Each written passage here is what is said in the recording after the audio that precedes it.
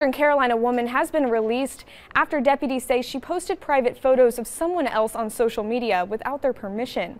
Onslow County deputies began an investigation back on December 2nd. They learned that Tabitha Sanders had posted the images and a warrant was obtained after the case was presented to the district attorney's office. Sheriff Chris Thomas says the victim was a former friend of the woman. Sanders turned herself in Friday and was charged with felony disclosure of private images. The 41 year old woman was released on a written promise to appear.